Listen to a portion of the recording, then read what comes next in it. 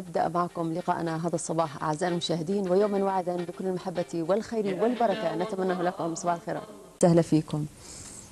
إحنا يعني لما بنحكي عن حالة تميز إبداع برضو الطب إذا قلنا يعني قد تكون تجليات أحلى تجليات حالات الإبداع الطبي لما مريض ينجو من, من خلينا نقول من مصير يعني غير صار ما بدنا نذكر مفردة يعني.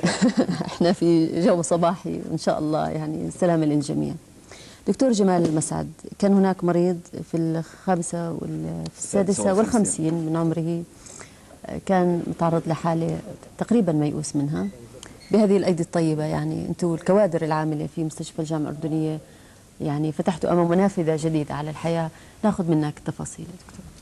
يا ستي صباح الخير لك وللساده المشاهدين. يعني الحقيقة إنه ما بدنا ندعي إنه هو يعني شيء يعني تميز ولكن هو نعم. بدنا نركز على الجهد المميز. نعم. يعني هذا المريض عمره 56 سنة عانى من ورم من ورم خبيث في مكان في جسمه اللي هو أسفل ظهره.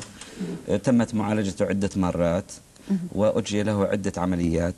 ولكن للأسف يعني لم يعني تنجح نجاحا تاما هذه العمليات. وأقفل الباب أمامه. نعم. أنه ما لا, لا نستطيع عمل شيء له وجاء إلى مستشفى الجامعة عندنا والصحيح يعني إحنا ترددنا كثيرا وأدخلنا إلى المستشفى ودرسنا حالته. وطبعا إحنا بهمنا البعد الإنساني. نحكي عنه قبل البعد الجراحي.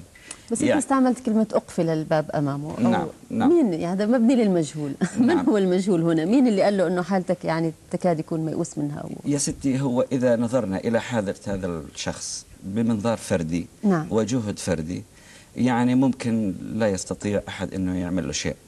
ولكن إذا تضافرت الجهود من قبل عدة اختصاصات وكان في فريق متكامل وكان في خطة له نعم. وهناك نوع من الدافع عند الدكتور لأنه الطب ليس عمل بس جراحة وإزالة أورام نعم. ولكن يجب أن يكون هناك فلسفة من وراء العمل طبعا. الفلسفة هي يعني إحنا لا ندعي شفاء الناس أو يعني أن يبرأوا من أمراضهم تماما. ولا ندعي إطالة الأعمار فالأعمار بيد الله كما تعرفين. أكيد ونعم. ولكن إحنا يعني فلسفة جراحة الأورام اللي هي يعني نوعية الحياة التي يعيشها الإنسان.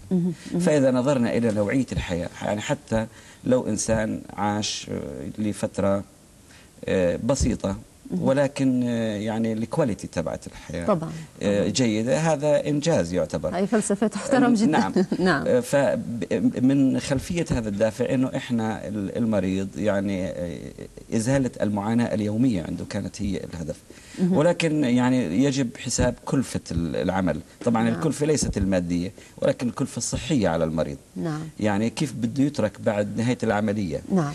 فال يعني لما كان بشوف طبيب معين الطبيب كمجهود فردي لا يستطيع عمل شيء له. ولكن بالإمكانيات المتاحة والمتوفرة في مستشفى الجامعة والكوادر الطبية. عمل الفريق. العمل الفريق. نعم. يعني هذا يعني هو كان السبب في إنه نستطيع إنه نعمل له شيء. نعم. يعني عندما يعني دكتور الأورام مع دكتور التجميل مع دكتور التخدير مع دكتور الأعصاب مع دكتور المسالك البولية وكل له فريقه. يجتمعون يضعون خطة. يعني بعتقد إنه هذا هو سبب. بصف الإنجاز يعني ذو طعم آخر. نعم. لأنه عمل فريق. نعم. إحنا بعد إذنك دكتور جمال مسعد بدنا نشوف هذا التقرير اللي عده زميلنا موفق شريده مع الطبيب مع المريض عزت. نعم. نشوفه مع بعض ونستأنف حوارنا شكرا. مرحبا أخي الكريم. مرحبا اتعرف عليك. عزت مرعي. آه بداية أستاذ عزت سلام. الله يسلمك. أستاذ عزت يا ريت تحكي لي بداية شو اللي صار معك؟ من فترة زمنية صارت معي كتلة دهنية هون بالفخذ. واتعبت وما استفدتش 100% ورديت جيت هون. هون إيش شخصوا حالتك إنه إن شاء الله إنه خير. آه مستشفى الجامعة إيش عمل لك بعد تشخيص الحالة؟ مستشفى الجامعة بعالج فيي قاعد مشكورين. وبشكر الدكتور اللي يعني فعلا اللي هو اسمه جمال مسعد والدكتورة براكة صا- صا- صالحة. وفي عنا هيك مستشفيات وهيك دكاترة لطيفين جدا ومنهم بعيد الشكر للدكتورة للدكتور جمال مسعد فعلا. والجامعة الأردنية اللي شفته برفع الرأس. أنا كنت مر يعني كثير في, في الخارج وشفت بعيني. إنه لا هنا على مستوى إحنا الحمد لله على مستوى أوروبي أو مستوى عالمي مش الحمد لله باللطف وبالمعامله وبكل شيء. الحمد لله. صحيح صدقا يعني أنا أنا لا أنا زلمه عمري 56 سنة وما بدي أي شيء من الحياة إلا أصدق إنه فعلا أنا مبسوط منهم جدا من المؤسسات كمان كثير. يا سيدي الحمد لله وبتمنى لك يا والدي ألف سلامة وإن شاء الله بتعود لبيتك. سالم وعافى شكرا لك. سلامات للمريض عزت. إن شاء الله السلامة لكل ال- المرضى.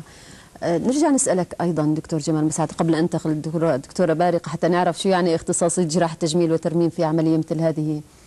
هل ينسحب على حالة المريض عزت؟ يعني الحالات المشابهة هل هي خاضعة لجراحة ناجحة مثل ما حصل مثلا ولا كل حالة لها خصوصية فيما يتعلق بالورم؟ يا ستي كل حالة يجب أن يكون لها خصوصية.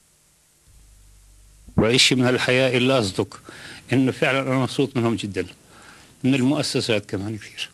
يا سيدي الحمد لله وبتمنى لك يا والدي ألف سلامة وإن شاء الله بتعود لبيتك سالم وعافى شكرا لك شكرا. شكرا.